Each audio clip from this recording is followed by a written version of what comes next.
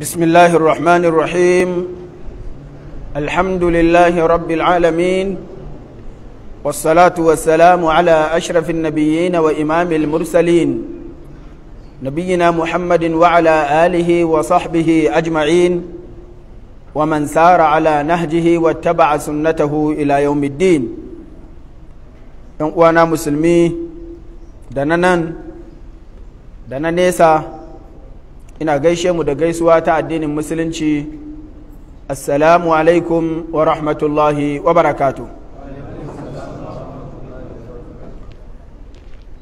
muna godiya ga Allah maɗaukakin sarki wanda da ni'imarsa da falalarsa ya ba mu dama muka haɗu domin darasi na tara a yau tara ga watan ramadan na shekara ta dubu ɗaya da arba'in da uku bayan hijiran manzan Allah sallallahu Alaihi wasallam daga makka zuwa madina. Yau ɗin kuma shine goma ga watan huɗu shekara ta dubu biyu da ashirin da biyu miladiya. Daga nan masallacin jami'ar abubakar ta fawa balewa a birnin bauchi inda muke gabatar da tafsirin alkur'ani mai girma wanda kuma wannan darasin na tara da yardar Allah shine cikamakin darasi akan suratul fatiha. Kafin mu shiga cikin darasin sanarwa guda biyu. Ta farko ita ce a ranar da muka sanar da lokuta na sanya karatun da muke yi da waɗanda suka ɗauki nauyin wasu daga ciki ba mu faɗi ɗaya daga ciki daidai ba shine yanzu aka gyara mun gidan talabijin na hausa bakwai. Suna sawa ne ƙarfe shida zuwa bakwai. Shida zuwa bakwai na yamma wanda alhaji saminu dan fullo daga birnin duwala a birnin a ƙasar kamaru shi ya ɗauki nauyi. Allah ya saka mishi da alkhairi. Sanarwa ta biyu ita ce albishir gare ku gaba ɗaya cewa alaraman da ya saba yi mana karatu abdurrahim mansur. Allah ya sa yau ya yi abin da ya kai shi. Dama ranar na sanar da ku cewa zai zo ya ci gaba ta ban faɗi ina ne ya je ba. Ya tafi ƙasar haɗaɗɗiyar daular larabawa a birnin dubai domin wakiltar najeriya a gasar karatu alkur'ani ta duniya kuma yau ya yi karatu.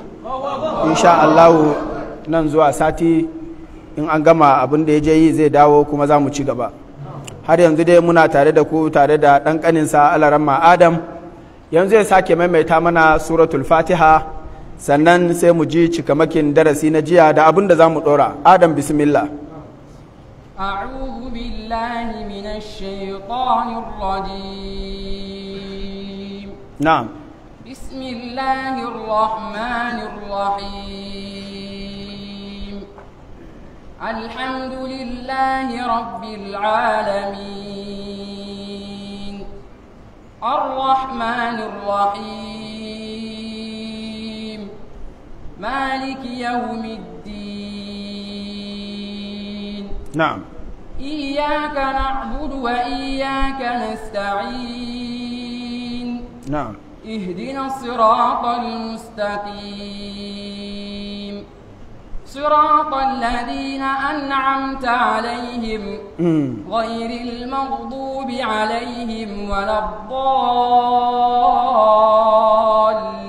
الضالين Allah ya maka albarka wannan sura suratul fatiha abin da ya rage mana shine jin saura abin da ya rage daga cikin fa'idoji guda hamsin da muka cire ƙarƙashin tafsirin wannan sura Mun tsaya zuwa fa'ida ta talatin da biyar. Don haka yau za mu tashi daga fa'ida ta talatin da shida.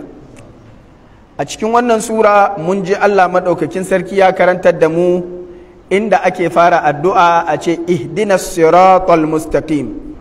Wannan ya nuna mana taqdimud du'a'i athna al-ibadati wa ba'daha min anwa'i tawassulil mashru'a. Mutum yayi addu'a a tsakiyar wata ibada ta musamman. Ko bayan ya kammala addu'a ko bayan ya kammala ibadar ɗaya ne daga cikin hanyoyin da ake yin tawassuli wajen addu'a waɗanda shari'a ta yarda da su. Tawassuli shine neman tsani zuwa Allah. A yayin da ka zo roƙon Allah da nema a wurin Allah ana so kafin ka nema ka nema tare da gabatar da wani abin da zai maka iso a wurin Allah. Abubuwa uku ne suka zo a shari'a bisa harshen manzan Allah sallallahu alaihi wasallama da ayoyin alkur'ani ana tawassuli da su domin neman Allah ya karɓi addu'arka da neman fada. Na ɗaya daga ciki shine ka nemi Allah ya karɓe ka ta hanyar bi ta hanyar Allah ɗin sunayensa da siffofinsa. Wato ka yi wa Allah kirari da sunansa shi kansa. Ka yi wa Allah kirari da siffarsa shi kansa. Sai ka ce saboda albarkacin wannan suna ko sifa tasa ya maka abu kaza da abu kaza. Ko don darajar kansa ya maka abu kaza. Na fata an fahimta. Mun fahimci wannan a yadda Allah maɗaukakin sarki ya ce mana walillahi asma'ul husna fad'uhu biha. Allah ne ke da sunaye masu kyau don haka ku roƙe su da su ku roƙe shi da su. Shi yasa a farkon wannan sura sai ya fara yabon kansa da sunayensa. Ya ce alhamdulillah kaga sunansa. Rabbi kaga sunansa. Ar-rahman kaga sunansa. Ar-rahim kaga sunansa. Maliki kaga sunansa. Kafin daga baya aka ce kuma wato ihdina siratal mustaqim. Hanya ta biyu da ake neman tsani zuwa ga Allah shine aikin da kai kanka kai wanda Allah ne ya sa ka aikin. Sai ka ce ya Allah kai ka sani wannan aiki kuma na yi. Don haka ina neman wato albarkacin wannan aiki da na yi da kai ka sani biyayya ta gare ka da ɗa'a ta gare ka Allah ka biya mun buƙata kaza. An fahimta? Wannan yana daga cikin hanyar da ake tawassuli na shari'a. Da ka ce iyaka na abudu kaga bauta kake cewa kai kana yi wa Allah. Wa iyaka nasta'in wurinsa kake neman taimako shi kadai sannan daga baya sai ka ce Allah ina roƙon ka shiryar da ni. Kaga ka faɗi cewa kana aiki kana bautar. To ya halatta kana cikin bauta ko bayan ka gama.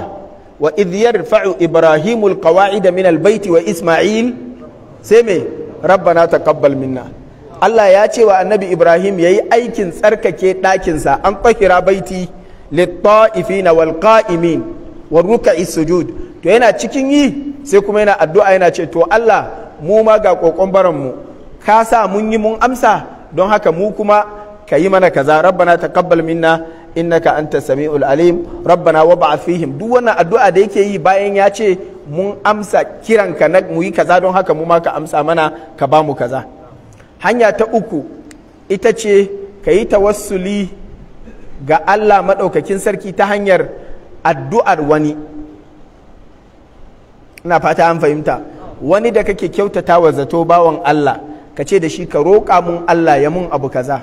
Ka roƙa mun Allah ya ban abu kaza. Ka roƙa mun Allah ya tsare ni daga abu kaza. Wannan shi ma hanya ce ta tawassuli. Na fata an fahimta. Kamar yadda Allah maɗaukakin sarki ya sa manzon Allah sallallahu alaihi wasallam yana yi wa sahabbansa khudh min amwalihim sadaqatan tutahhiruhum wa tuzakkihim biha. Wa salli alaihim inna salataka sakanun lahum. Sannan Allah ya ce wastaghfir lahum. Ka riƙa ka riƙa nema musu gafara a wurin Allah. An gane ko? To wannan da Allah ya madaukin sarki ya ce fa'alam annahu la ilaha illa Allah wastaghfir li dhanbika walil mu'minina. Wal mu'minat ka nemi gafara a wurin Allah ga, ga, zunubanka da zunuban muminai da zunuban muminai mata. To wannan yana daga cikin hanyar da ake nema kuma kana iya samun kowa da kake kyautata masa zato ka ce ka roƙa mun Allah ya mun abu kaza ya ban abu kaza ya tsare ni daga abu kaza. To guda biyu daga cikin sun zo cikin wannan surar. Na farko neman tsani ta hanyar yi wa Allah kirari da sunayensa. Kaga mun ji a ciki. Neman tawassuli zuwa ga Allah ta hanyar aikin da kai kaga ka ce iyaka na abudu to ku riƙe wannan. Duk lokacin da zaka roƙi Allah ka yi ƙoƙarin haɗawa da wani abu daga cikin waɗannan guda uku ko in kana da su duka uku ka faɗa ko ka yi biyu ko ka yi guda ɗaya sai ka roƙi Allah abin da kake so. Ina fata mun fahimta. Ana iya yin haka ta hanyar ka faɗi wani aikin da ka yi mai kyau ko kuma ka faɗi mummunan aikin da ka yi ka nuna gazawarka ka ce ban kyauta ba ya Allah don aka ka mun kaza. Shi ma yana daga ciki. Ta yaya ake yi? Shine da Allah maɗaukakin sarki yake gaya mana yadda annabi Adam ya yi da ya tashi tawassuli sai ya tawassuli da laifinsa. Rabbana zalamna anfusana. Tukunne cewa in lam taghfir lana wa tarhamna lanakunanna minal khasirin. Annabi Musa ma haka yayi fa wakazahu Musa faqada alaihi qala hadha min amali shaitan innahu aduwwun mudillun mubin. Qala rabbi inni zalamtu nafsi faghfir ya Allah na yi laifi a yafe mun. To haka ake yi. Shi yasa Allah madaukin sarki annabi sallallahu alaihi wasallam ya koya mana addu'ar da tafi kowace girma cikin istighfari. Allahumma anta rabbi la ilaha illa anta. Kaga nan kirari ne wa Allah. Khalaqtani wa ana abduka wa ana ala ahdika wa wa'dika mastata'tu. Sai a'udhu bika min sharri ma sana'tu. Ina neman tsarin ka daga sharrin aikin da na yi. Abu'u laka bi ni'matika alayya wa abu'u bi dhanbi. Ina komawa gare ka da ni'imar da kamu ina komawa gare ka da zunubi na. Fagafin lilo haka ka gafarta mun. Don haka ana neman tawassuli zuwa ga Allah ga kyakkyawan da kyakkyawan aikinka akan Allah ya karɓa idan ya karɓa ya maka kaza. Da laifufukanka da kurakuranka Allah ya yafe maka ya ji kanka ya sani kai ka gaza. Don haka Allah ya cika maka. Ina fata mun fahimta. Fa'ida ta talatin da bakwai. التنبيه على التزام طريق الله المستقيم الوحيد الذي هو الحق ونبذ طرق الشرك والبدع daga ihdina siratal mustaqim mun fahimci cewa wajibi ne dukkan talikai su taru akan hanyar Allah guda ɗaya kuma ashe hanyar Allah ba ta taɓa rabuwa ta zama biyu shi yasa ce ihdina as-sirat sai kawo shi sai kawo shi da ma'arifa al-mustaqim. Allah ka shirye da mu hanyar nan madaidaiciya ɗaya ɗaya. Hanyar Allah ba ta taɓa zama biyu hanyar Allah guda ɗaya ce. Kana sakewa ka fita hanyar Allah ka koma ta wani. Wa anna hadha sirati mustaqiman fattabi'uhu wa la tattabi'u subul fatafarraqa bikum an sabili. Karka yarda kana bin hanyar Allah ka kauce ko kaɗan ka bi na wani kana bin hanyar wani. To shikenan kuma ka fita a hanyar Allah fatafarraqa bikum an sabili. Allah baya hada hanya da wani. Hanyarsa shi kadai ne kuma bai da abokin tarayya akan hanyarsa. Don haka in kana kan hanyar Allah kana kan tasa. Kana kaucewa to ba a hada hanyar Allah da ta wani. Ina fata mun fahimta. Fa'ida ta talatin da takwas. Hajatul abdi ila hidayatillahi ta'ala. Akadu min hajatihi ila garuriyatil haya. Buƙatar da muke da ita ga shiriyar Allah ta fi girma da muhimmanci a wurin sama da buƙatar da muke da ita na neman bukatun duniya. Yadda kake buƙatar Allah ya shiryar da kai ya fi maka muhimmanci sama da buƙatar Allah ya baka iska ka shaƙa ka rayu. Ya fi maka muhimmanci sama da Allah ya baka ruwan da zaka sha.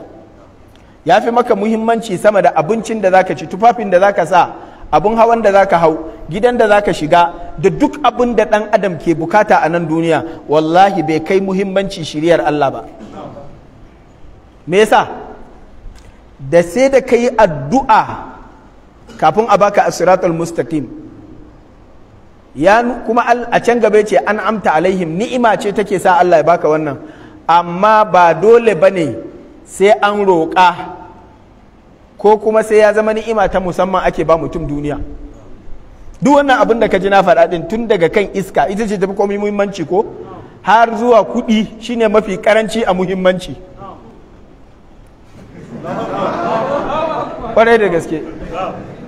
A kuɗi ya fi abinci ne? Ya fi gida ne? Ya fi abin hawa ne? Ya fi iska ne? Ana neman kuɗi ne don a neme su. Ana neman su ne don a nemi kuɗi? In kana da su me za ka yi da kuɗi? Saboda ka da su da kuɗi wanda ya fi muhimmanci. Ai kuɗi shine mafi ƙarshen muhimmanci cikin duk abin da mutum yake buƙata. Saboda shi baya maka komi sai dai komi ya maka shi.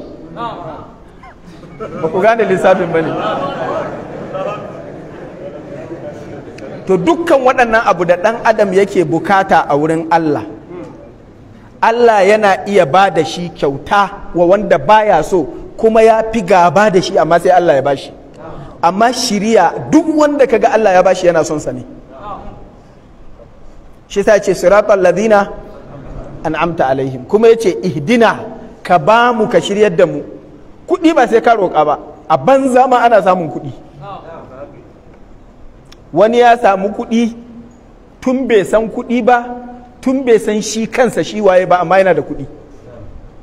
Yanzu haka da nake maganan nan a yau ɗin nan da kuma a gobe wani zai mutu ya bar maƙudan kuɗi wa ɗansa a cikin cikin uwarsa. Kuma ɗan shi kansa bai san shi ɗa ba ne bai san uban ba amma uban yana mutuwa kuɗin ya zama na ɗan. An haifi kuɗin kafin shi a haife shi. Ashe kuɗi ba wani abun kirki ba ne. A wurin Allah. Allah yana iya ba da shi ga wanda bai san ma shi yana da shi ba. Amma hidaya Allah baya ba da ita sai wa mutane na musamman. Shi yasa buƙatar ka ga wannan da kwaɗayinka a wurin Allah akan Allah ya baka hidaya tafi yawa da girma sama da buƙatar ka akan abubuwan duniya. Allah ya sa kun gane. Wani zai ce kai ma nafqau kathiran mimma taqulu. Kudin fa'ida ta talatin da tara.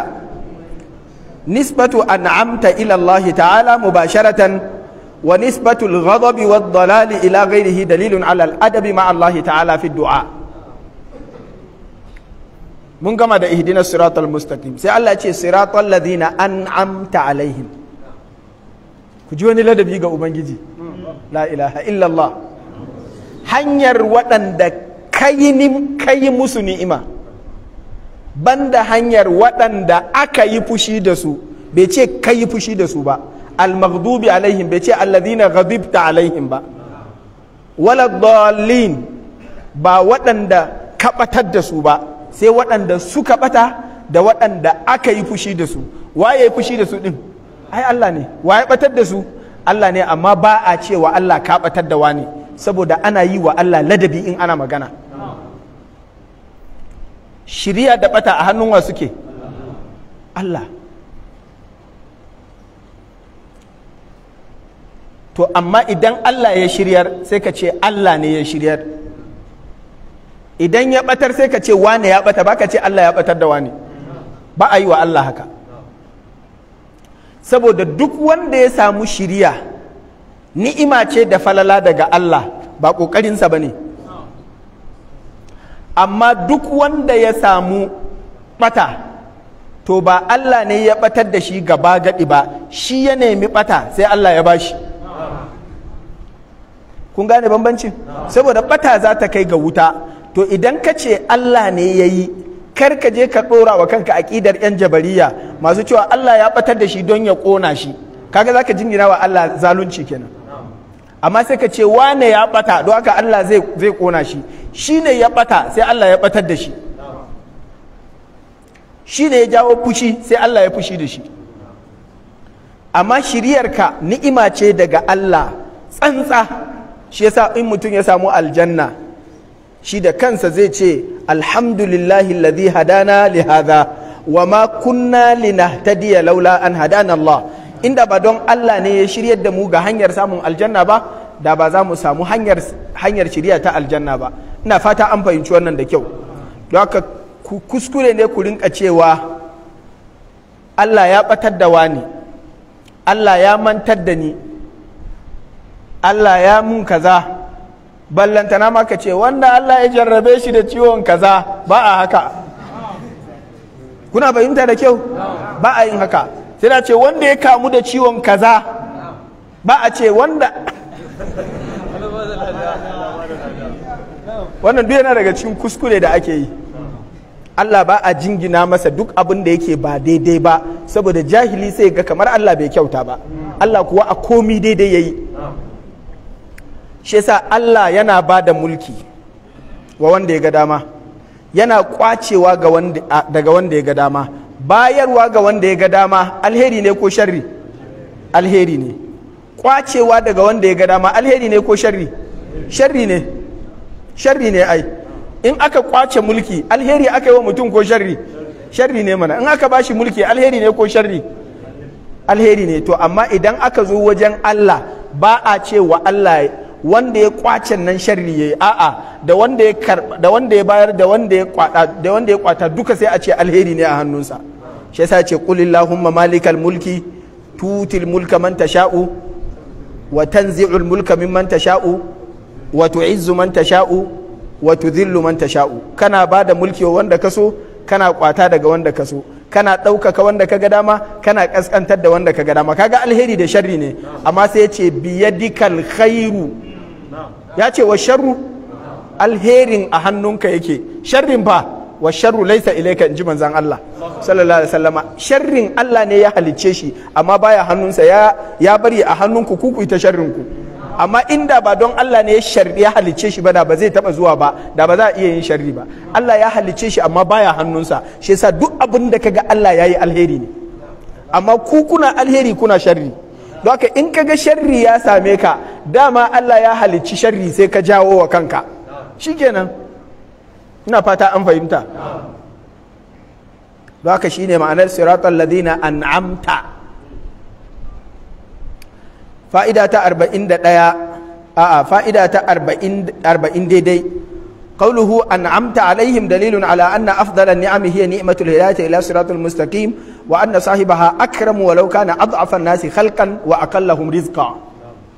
Da Allah ya ce hanyar waɗanda ka yi musu ni'ima. Me ni'imar da Allah ya musu? Shine ni'iman shiriya. Wannan ya nuna cewa mafi girman ni'ima da Allah zai wa mutum a duniya ita ce Allah ya bashi ni'ima ta shiriya kuma wannan shi yafi kowa ɗaukaka ko da a garinsu shi yafi kowa ƙasƙanci. Ina fata an fahimta. Ɗaukaka a wurin Allah ba a kan dukiya take ba ba a kan mulki yake ba ba a kan ilimi yake ba. Duk yawan iliminka ba ka da ɗaukaka idan Allah bai shiryar da kai ba. Duk yawan mulkinka ba ka da ɗaukaka idan Allah bai shiryar da kai ba. Duk yawan kuɗinka baka da ɗaukaka idan Allah bai shirye da kai ba. Wanda ko Allah ya shirye da shi ko ya rasa dukkan waɗannan ko shi ne mafi ƙasƙanci a garinsu shi ya fi kowa ɗaukaka. Inna akramakum inda Allahi atqakum. Shi yasa ya ce ihdina siratal mustaqim siratal ladina an'amta alaihim. Fa'ida ta 41 shine al-imamu al-allamatu shankiti Allah ya masa rahama. Ƙarƙashin wannan aya suratul ladina an'amta alaihim ya ciro wata fa'ida da latifa da take nuna cewa abubakar radiyallahu ta'ala anhu shi ne khalifan manzan Allah sallallahu alaihi wasallama na farko kuma shi ya fi kowa cancanta ya zama khalifa ba wani ba. Ya ce wannan ayar tana raddi wa 'yan shi'a da suke gani cewa bayan annabi sallallahu alaihi wasallama ibn abi talib shi ya kamata. Ina fata an fahimta. Amma shi ya ce a'a Allah ya nuna wanda ya fi cancanta shine abubakar. Saboda mun ce ihdinas siratal mustaqim. Muna addu'a Allah ya shiryar da mu hanya madaidaiciya. Hanyar waɗanda Allah ya yi wa ni'ima. Su waɗanda Allah ya wa ni'ima? Fa'ula'ika ma'allazina an'ama Allahu alaihim minan nabiyina. Waye kenan annabiyina mu a wurinmu shine manzon Allah sallallahu alaihi wasallam. Was-siddiqina shewa wa? Shuhada sai wa? Sai wa siddiqina sai sai sayyidina abubakar. Wa shuhada kafin a zo umar. Kafin a zo usman kafin a zo ali wa salihin. Na fata mun fahimta. Da aka yi ce tun daga nan inda ka gane ma ka fahimci cewa Allah ya riga ya naɗa sayyidina abubakar ya zama khalifan manzan Allah sallallahu alaihi wasallama domin siratal ladina amta alaihim da al'umma suke nema a shiryar da su. Bayan manzan Allah sallallahu alaihi wasallama shine cikin sahun annabiyin sai sahun as-siddiqin. Shi kuma ƙwaya ɗaya ne a cikin wannan al'umma shine abubakar. Allah ya ƙara yarda a gare shi. Fa'ida ta 42 shine bayanu ahammiyati suhbati salihah wal qudwati lil muslim. Wannan aya ta siratal ladina an'amta alaihim ta nuna maka muhimmancin neman abokan kirki. Ta ina ta nuna maka? Allah ya shiryar da kai hanya madaidaiciya hanyar waɗanda Allah ya musu ni'ima. Waɗanda Allah ya wa ni'ima su ya faɗa a cikin suratun nisa. Ulaika ma'al ladina an'ama Allahu alaihim.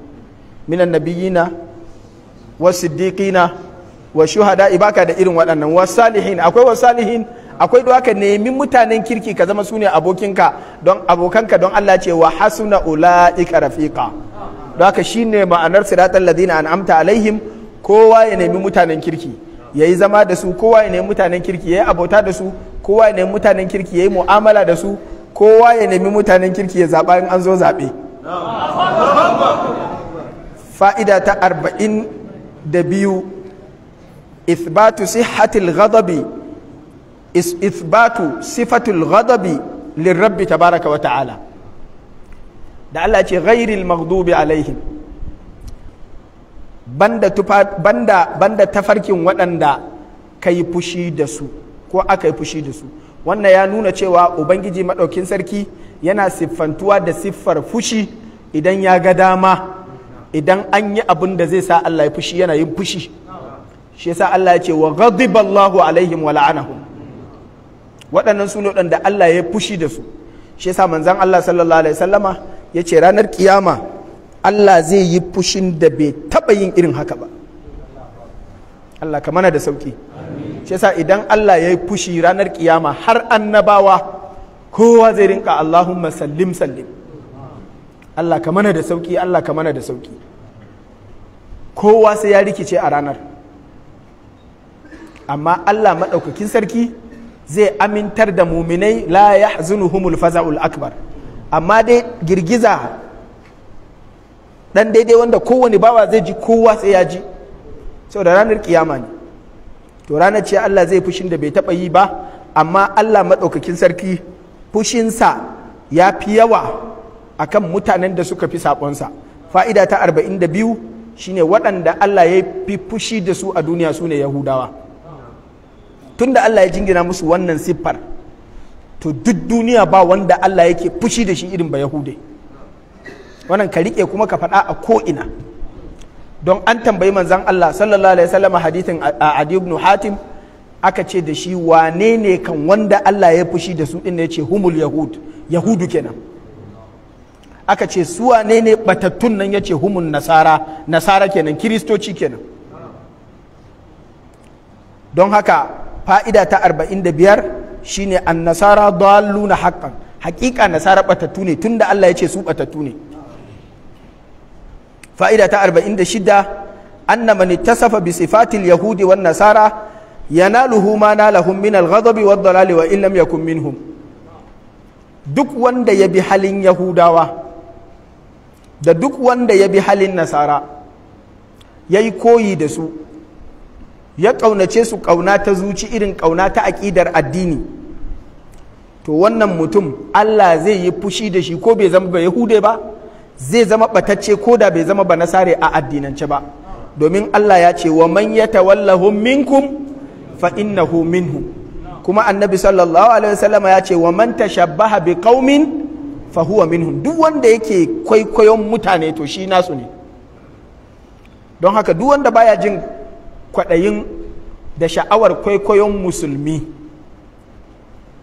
a al'amura na addini da al'amura na rayuwa da yadda mutane suke gudanar da rayuwarsu ta yau da kullum mutum musulmai yan uwansa ba sa burge shi. Ya fi sha'awar ya yi koyi da waɗanda ba musulmi ba a wajen cin abinci a wajen sa sutura a wajen wato yanayin rayuwarsa lifestyle ɗinsa a wajen tsarinsa na iyali duk dai ya fi son yadda western life yake. Na arna daga cikinsu. Ba na musulmi ba? To wannan mutum fahuwa minhum. Don duk wanda ya zama wa su ɗin nan an ce musu almaghdubu alaihim ba a faɗi sunansu ba ba a ce alyahudu ba. Addalin ba a faɗi sunansu ba saboda ya nuna siffar tasu ce ta sa Allah ya fushi da su siffar tasu ce ta sa suka bata to kullu man ittasafa bi sifatihim fa huwa minhum. An fahimci wannan? Fa'ida ta arba'in da bakwai. Hajatul ummati ila takrari tahdhiri min subulil yahudi wan nasara kama yukarraru qira'atul ayati.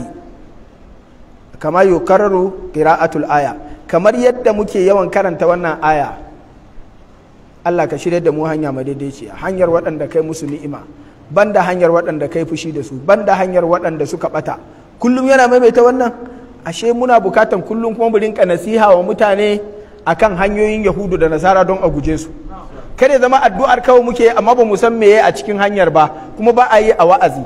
Don haka wajibi ne kullum a cikin wa'azi da nasiha a rinka ci gaba da yawan tsoratar da mutane akan su daina bin hanyoyin yahudu da nasara. Babu kuma hanyar da aka fi tallarta a yanzu kamar hanyoyin yahudu da nasara. Babu kuma hanyar da ta fi wato cin kasuwa da karbuwa a wurin mutane ciki har da musulmi kamar hanyoyin yahudu da nasara. Kuma babu hanya mai barazana ga rayuwarka da addininka kamar hanyoyin yahudu da nasara. Shi yasa kullum kana ta addu'a. Su kuma suna jiran ka gama addu'an ku ci gaba da harkoki. Me amfanin addu'ar a wurinka? Ka ce ghairil maghdubi alaihim banda hanyar su ya Allah. Kuma kuna kan hanyar kake karanta wannan wannan wannan ayar. Kaga aya bata maka amfani ba. Ina fata ana fahimta. Manzan Allah sallallahu alaihi wasallam yake cewa la tattabi'unna sunana man kana qablakum.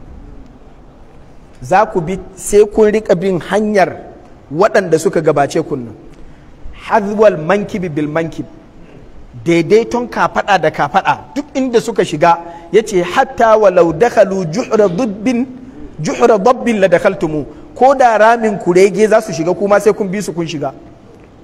Ramin damo da za su shiga ciki wallahi wannan magana ta manzan Allah sallallahu alaihi wasallama wannan yana daga cikin abin da zai nuna maka ƙarin yaƙini akan gaskiyar manzan Allah wallahi yanzu da a samu ni ba yahude ya fito da wani yayi na shiga cikin yayi na shiga cikin rami wallahi sai an samu cikin musulmi wanda zai shiga rami. Saboda tun ba yahude yana kwalliya ana koya ana koyi da shi. Har dai zai bata kwalliyan kuma a bi shi akan bata kwalliyar. Irin kwalliyar mutanen da wanda suka gani misali a wurinsu suka koya. Yanzu kuma kwalliyar an daina irin ta an koma wani iri. Su wani half ass su wani no ass su wani menene dukkan abin da ba yahudi aga wani yayi. Ko da shi fa bai masa kyau ba a ido amma tun da wani yayi shi ma sai yayi. Sannan akwai abin da in kai kai ba ma daɗi kake ji ba fa. Kai kanka ba daɗi kake ji ba.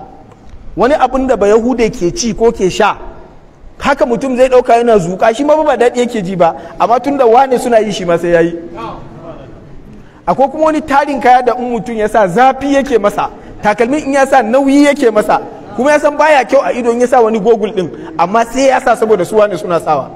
Shi yasa manzon Allah sallallahu alaihi wasallam ya ce ka faɗa da ka faɗa za ku rinka bin su. Ko da ɗayan su zai shiga ramin damo sai wani ku ya ce zai shiga. Shine annabi sallallahu alaihi wasallama aka ce da shi al yahudu wan nasara kana nufi yahudu da nasara sai ce faman to sai wa in ba su ba? Ai su nake nufi. Allah ya tsare mu. Fa'ida ta 48 ma tadammanathu al-ayatu min sirri shifa'i li amradil qulub. Abinda muka ji daga cikin waɗannan ayoyi na sirrin fatiha akan maganin cututtuka na zuciya. Kar ku yi wasa da wannan. Mun faɗi wannan kuma kar ku manta da shi. A cikin sirrin ihdinas siratal mustaqim don duk wanda ya samu as-siratul mustaqim to wannan Allah ya warkar da shi daga cutar zuciya cutar riya cutar hasada cutar munafunci cutar shirka cutar bid'a cutar kwaɗayi cutar rowa cutar ƙarya cutar hasada. Kuna fahimta? Cutar mugunta. Yadda mutum yana gani ana mugunta da kowa zai ji wani iri amma shi baya jin komi. Duk irin waɗannan abubuwa munanan cututtuka ne da in suka kama zuciya ba wanda zai iya wato warkar da kai sai dai alkur'ani kadai to fatiha tana daga cikin waɗanda suke da sirrin warkar da irin waɗannan cututtuka. Shi yasa ya ce ihdina siratal mustaqim. Fa'ida ta 41 da 49 ma tadammanatul ayatu min sirri shifa'il amradi amradil abdan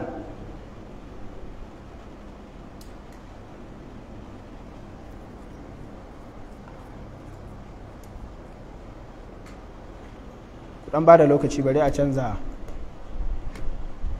A'a yanzu za a ci gaba.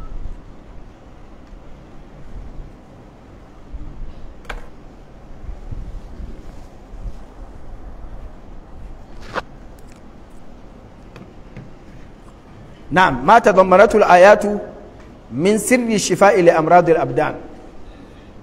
Mun fahimta daga cikin waɗannan ayoyi wato sirrin fatiha. Wajen samun waraka daga cututtuka na gangan jiki. Wa huwa min dimni qawlihi ta'ala nasta'in wa ihdina wa an'amta alaihim. Waɗannan wurare guda uku da kaji a nan ne ake da sirrin waraka daga samun cututtuka bayan sunayen Allah da siffofinsa da aka faɗa a baya waɗanda su ne jigo su ne jagora. Allah kai muke bautawa amma muna neman taimakonka saboda bauta ba ta cika sai da lafiya. Ya Allah ka shiryar da mu saboda duk wata waraka sai an samu shirya akan a gane asalin maganin. Za ka yi ta cuta kai ta magani ai ta neman likitoci ai ta neman masana maganin gargajiya. Amma Allah bai sa an gano ciwon ba ko a gano maganin da ya dace. Sai ka samu wani dan ƙaramin abu ne sai an yi shekara uku ana ta wahala. Sai wani kuma daga baya zai ba da dan wani abu ana yi sai ga an warke. Ihdina Allah ka shirye da mu cikin sauƙi mu gane ba sai an wahala ba. Sannan da ya ce amta alayhim waɗanda kai musu ni'ima. Yana ɗaya daga cikin mafi girman ni'imar Allah shine ni'imar lafiya. Manzan Allah sallallahu alaihi wasallam ya ce ni'matani maghbunun fihi ma kathirun minan nas as-sihha wal farag duk wanda Allah ya bashi lafiya wannan ya samu ni'ima. To waɗannan wurare guda uku suna kunshe da sirri akan neman magani. Don haka wannan surar wato yana daga cikin sirrinta shine neman waraka daga Allah.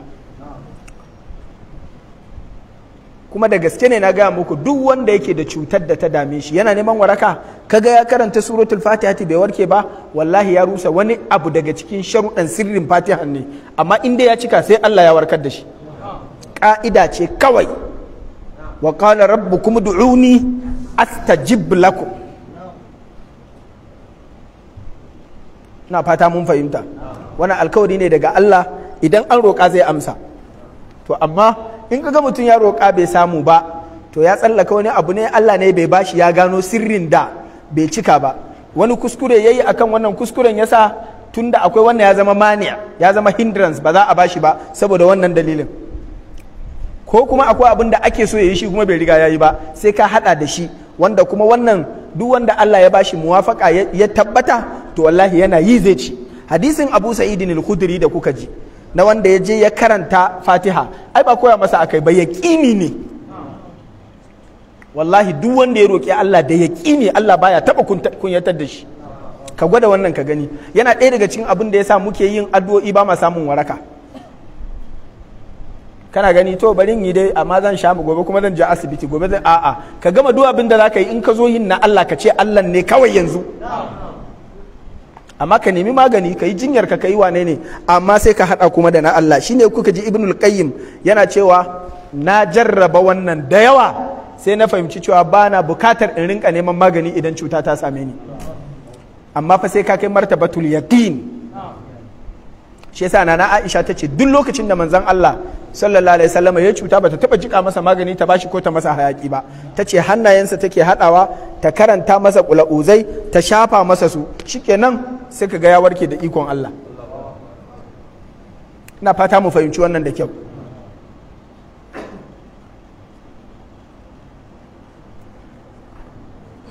Wani daga cikin malamai daga saudi arabia sati biyu da suka satin nan da sati biyu da suka wuce lokacin muna mai duguri wani daga cikin malamai da muke tare da shi yake gamin wani abu. Sai ya zama gashi ya zama arashi a nan. Ya ce ya ji malamin yana cewa yanzu dattijo ne malamin ya ce wallahi yana matashi. Sai kamu da ciwon liver cancer ciwon wato hanta kansar hanta wanda kun san yadda wannan ciwo take da mugunya kuma da take kashe mutane. Ita ta yi ajalin wana muhtar isa yalwa da kuka sani ya rasu allah ya gafarta masa. Galibi idan mutum ya kamu da wannan ciwo kawai akan ce mishi ka jira zuwa lokacin da zaka cika kawai. Ka jira zuwa kwana kaza wata kaza shikenan. Wannan bawan allah shi ma haka likitoci suka ce mishi kawai gaskiyar zance shine ka kamu da liver kansa ne kuma kawai kwanaki kake jira. Aka ce kwana nawa? Ya ce kwana nawa aka ce wata ɗaya. Ya dawo ya faɗa a gida babansa ya ce a'a mu bara mu zauna ba tashi mu nemi magani. A je wannan asibitin a je wannan asibitin. Suka je america suka je germany suka je faransa suka je duk inda suka je za su gama iya nasu. A tsakanin wannan lokacin duk inda aka je a ce hanta ce ai na ba abin da ake yi. To sai da suka dawo sai suka ji labarin wai ana dashen hanta a egypt. Baban ya ji sai ce tashi muje lokacin saura kwanakin kaɗan a cikin wannan wata ɗayan da aka bashi sai ce tashi muje sai ya ɗauke shi. Suka je suka ga wani likita sai ce to sai na gwada na gani idan ba ta kai dameji kwata-kwata ba za a iya maka dashe? Idan aka yi maka dashe in allah yadda za ka tashi. To shine shi ya koma akan gobe a zo a ɗauki a yi test a ɗauki jini a yi wane ne sai a gani. Wallahi yana dawowa kawai sai ya ce to wani duk na ɗaga hankali ma ina ta damuwa. Sai ɗabi ruwa sai ce ya ubangiji na ni dai ina matsayin almajiri alaramma na sha karanta wa mutane fatiha in ba su su sha su yi magani. Ni na manta ban yi haka ba. Ya Allah ni ma fatiha nan da nake wa wasu ka ba su lafiya. Ga ta nan sai karanta fatiha ya tofa. Wallahi ya sha ruwan nan. Shi da kansa yake faɗa fa yanzu shekarunsa saba'in da wani abu. Lokacin kuma tun yana yaro matashi ne. Kawai sai aka ɗauke shi suna zuwa asibiti likita ya je ya ɗauki abu ya shigo rizol ya fito sai ce sai wannan ɗin ya shigo. Sai ce ina jinin mara lafiyan? Aka ce ai gashi ne. Ce a wannan jininsa daban ba shine wanda jiya kuka zo da shi ba. Wannan ba shi ba ne ya ce ai wallahi na bincika na samu hantar da take cikin wannan hantar 'yan ƙananan yara ne. Hanta ce na ƙaramin yaro wanda yanzu yanzu aka haife shi ba da ti ko kaɗan a jikin wannan hantar. Kai ka ce jiya aka haifa ashe kuwa jiya ne Allah ya kawo ta sabuwa. Ya ce wallahi bayan haka babansa ya ɗauke shi sun je manya-manyan asibitoci har uku. A je a sake aunawa a ce wannan hantar ƙananan yara ne da shi. Yanzu wannan hantar tana nan a jikinsa har yanzu ana bugawa. Sirrin fatiya kenan. To amma kamar yadda na ce muku wallahi yaƙininka yana da alaƙa akan karɓar addu'arka. Allah ka ba mu yaƙini. Fa'ida ta gaba ta arba'in da nawa kenan yanzu? Arba'in da tara. E ita ce muka gama ba? Saura fa'ida ta hamsin. Taksimun nasi ila talata wannan sura ta raba mana mutane kashi uku. Sai ka zaɓi wanda za ka shiga. alladhina arafu alhaqqa wa amilu bihi wa hum alladhina an'amta alaihim ku ce ɗaya. Alladhina arafu alhaqqa falam ya'malu bihi wa hum almaghdubi alaihim alladhina yajhaluna alhaqqa faya'maluna bilhuda wa hum ad-dallin. To kun kashe-kashen mutane kenan. Waɗanda suka san gaskiya suka nemi ilimi kuma suka yi aiki da saninsu. Waɗannan su ne an'amta alaihim. Allah ya ce wato ka shiryar da mu hanya madaidaiciya hanyar waɗanda kai musu ni'ima. Su ne waɗanda suka san gaskiya kuma suka yi aiki da gaskiyan don haka sun nemi ilimi sannan sai suka yi aiki da ilimin. Wannan shine muminai na gaskiya. Ko kuma waɗanda suka san gaskiya amma suka take ta suka aiki da ita. Wannan ko su ne yahudawa ko? Falamma ja'ahum ma arafu kafaru sun sani suna da ilimi wa laqad ikhtarnahum ala ilmin ala alamin suna da ilimi amma ba sa aiki da shi. Sannan sai hanyar waɗanda ba sa da ilimi amma akwai son aiki. Su ne addallin. Suna cikin jahilci amma a haka suke so su yi ta aiki sai dai su rinka yin aiki bisa jahilci. Saboda na ga babana yana yi na ga uwata tana yi na ga a unguwarmu haka ake yi mu haka ake yi a layinmu. Amma ba wai haka na ga Allah ya ce ba ba haka na ji manzan Allah sallallahu alaihi wasallama ya ce ba. A'a ni dai saboda na ga ana yi ne haka. Waɗannan su ne mutane kashi uku da Allah ya kasa. Kai a wanne kake? Kowa ya binciki kansa. A'a. Fanzur fi ayyul aksami anta. Kai sai ka dubi a ina kake. Shin kana da ƙoƙarin neman ilimi? In kai ilimin kana aiki da shi? To kai mumini ne. Kana ƙoƙarin neman ilimi amma baka aiki da shi? To ni baran faɗi sunanka ba. Aiki kawai kake son yi ba neman ilimi? Shi ma baran faɗi sunanka ba. Siratal ladina an'amta alaihim ghairil maghdubi alaihim waladdallin. Allah ka samu kan siratal ladina an'amta alaihim.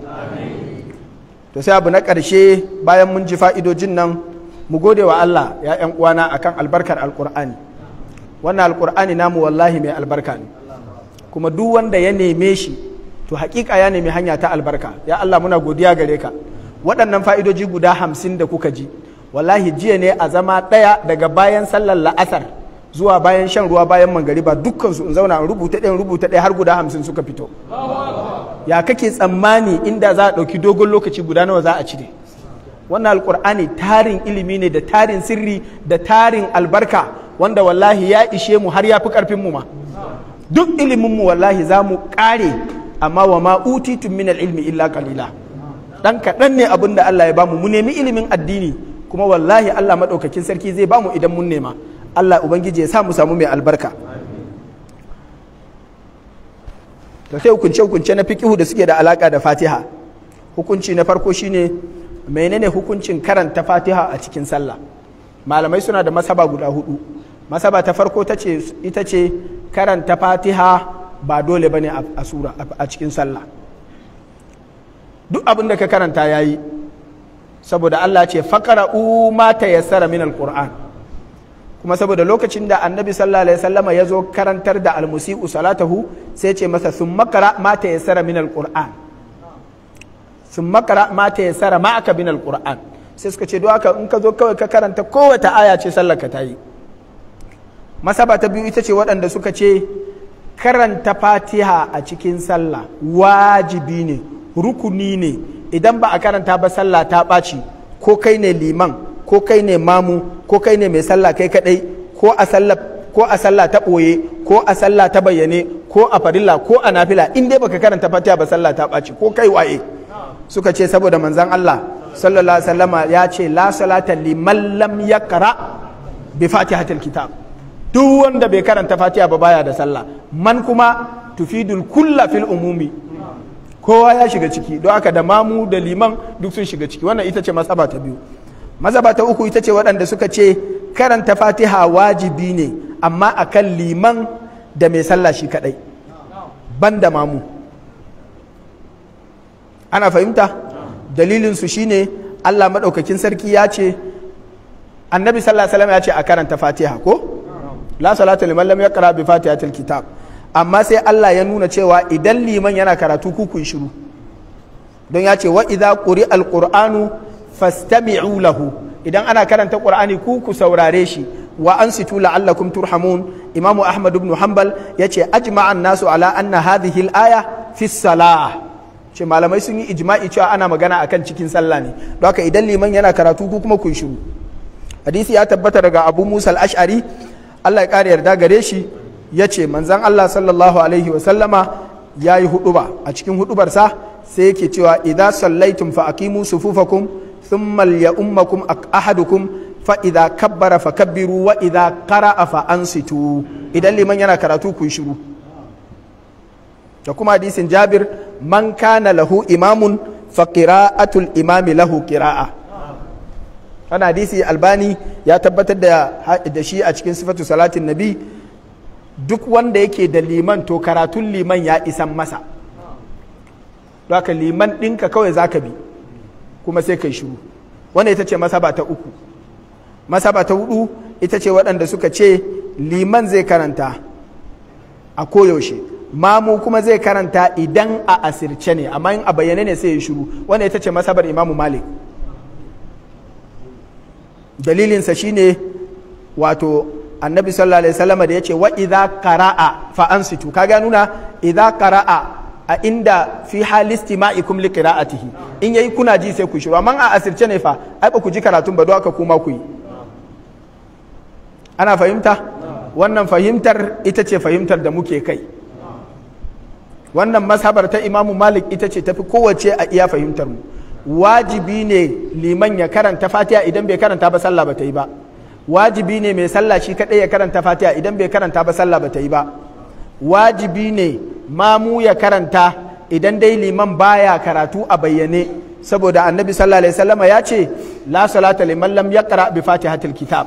Amma idan liman yana karatu a bayyane to wajibi ne kowa ya shiru domin annabi sallallahu alaihi wasallam ya ce wa idza qara'a fa ansitu kuma ya ce man kana lahu imamun fa qira'atul imami lahu qira'a. Mas'ala ta biyu ita ce shin mamu ma zai karanta sura? A'a nan malamai sun yi ijma'i cewa ba a dora masa ba. Idan bayan yayi fatiha ya kara da sura sallar azhar ko la'asar shikenan bai laifi ba yayi daidai. Amma in yayi fatiha yayi shiru abinsa babu komi. Mas'ala ta uku ita ce wanda ya karanta fatiha sai ya bar wani abu. Ya bar aya ko ya bar kalma ko ya bar harafi. Harafi a bayyane ko harafi a ɓoye?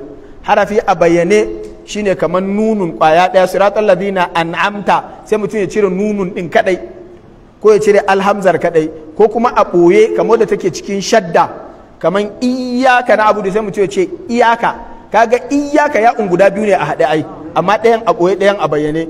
To sai ya cire ɓoyayyiyar ya ce iyaka malamai sun yi ijma'i cewa idan da gangan mutum ya haka sallarsa ta ɓaci.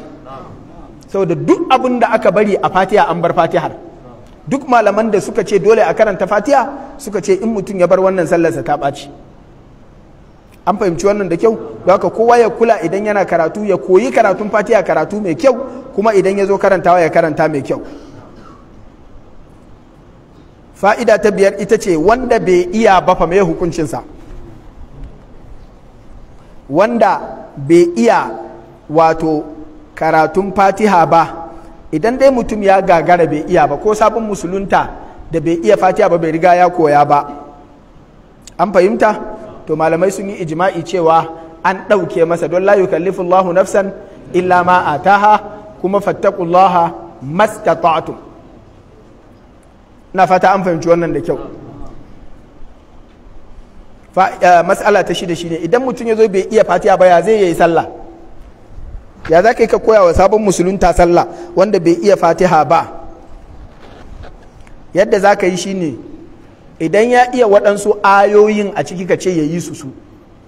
Saboda fakara umma ta yassara min alquran kuma fattaqullaha mastata'tum. Sai ya yi iya waɗanda ya iya. Ya iya aya biyu aya uku aya biyar aya ɗaya sai ya yi ta sai ya ƙara da wata surar idan ya iya. Idan bai iya ko aya a ciki ba sai ya yi wata sura kawai wanda ya iya. A samu dai aya su kai bakwai idan an samu.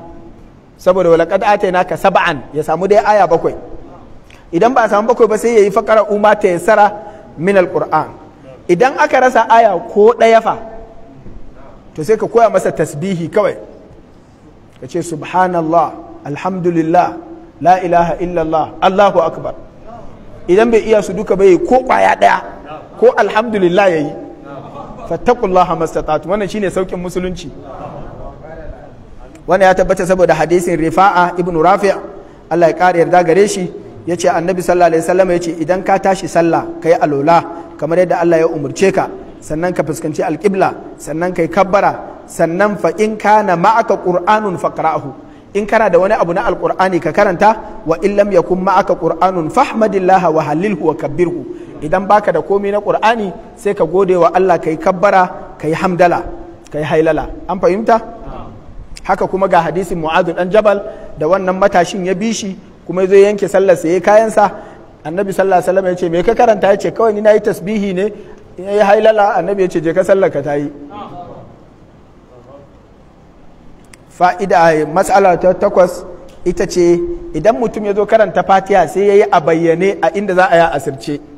Ko ya a asirce a inda za a yi a bayyane bai hukuncinsa? Masaban malikiya shine mutum zai yi sujadar kabli ko ba'adi. Idan ya bayyana inda ake ɓoyewa in ya yi sallar azhar a bayyane ba'adi. In ya yi sallar magariba a asirce kabli amma masabar da yawa daga cikin malamai muhakkikun shine babu sujadar komi na rafkanuwa akan wanda ya bar bayyanawa ko asirtawa. Ku tsaya ku ji wannan da kyau. Wanda ya bayyana a inda ake asirtawa ko wanda ya asirta inda ake bayyanawa babu komi a kansa. Kai dai mutum ya saba da suna karkai haka da gangan. Kamar mutum ne ya sallah ba ikama ba komi a kansa amma bai kyauta ba. Kuna fahimta? In dai namiji ne ya bar sunna to shi ma wannan mutum ya bar sunna amma sallarsa bata ɓaci ba. Kamar mutum ya ce sami Allahu liman hamidahu bai ce rabbana wa lakal hamdu ba. Ko a ce ghairil maghdubi alaihim wala dhalin bai ce amin ba. Kaga duk waɗannan sunnoni ne. Ba za ka ce mutum yayi sujada ba. To haka shi ma wannan ba za a ce yayi sujada ba. Dalili shine ibn Uthaymin Allah ya masa rahama ya ce saboda da annabi sallallahu alaihi wasallam ya ce la salata liman lam yaqra bi ummil qur'an. Bai ce liman lam yaqra ha sirran aw jaharan ba. Don haka babu wani nassi a fili balo balo da ya ce ana yin sujadar rabkanwa don an asirta ko an bayyana. Kun fahimci wannan? Mas'ala ta kusa da ƙarshe ita ce in an gama wala dallin sai a ce amin in ji manzon Allah. Sallallahu alaihi wasallam ya ce idza qala al imamu ghayril maghdubi alaihim wala dallin faqulu amin. Idan an zo wala dalin to ku ce amin. Fa innahu man wafaqa ta'minuhu ta'min al mala'ika ghufira lahu ma taqaddama min dhanbi. Don ana gafarta zunuban duk wanda ya ce amin idan sun yi daidai da mala'ika. Fa'ida ta ƙarshe ita ce shin liman ma zai ce amin? Ko shi ya ce ghairil maghdubi alaihim wala dalin sai ya shiru ma musu ce amin. Ga hadisi daga muhammadur rasulullah sallallahu alaihi sallama ali ibn abi talib Allah ya kare da gare shi ya rawaito kamar yadda yake cikin sunan ibn majah ya ce sami'tu rasulullah sallallahu alaihi sallama idza qala wala dallin qala amin. Naji manzon Allah sallallahu alaihi sallama ya ce ya kasance idan ya zo wala dallin ana ce amin shi ma yana ce amin. Wannan shine ƙarshen matsalan da mu kawo a yanzu. Kuma ƙarshen lokacin mu kenan. Gobe idan Allah ya kai mu za mu tashi daga suratul baqara. Abin da ya zama daidai Allah ya ba mu lada kuskure Allah ya fi mana. Wassalamu alaikum wa rahmatullahi wa barakatuh.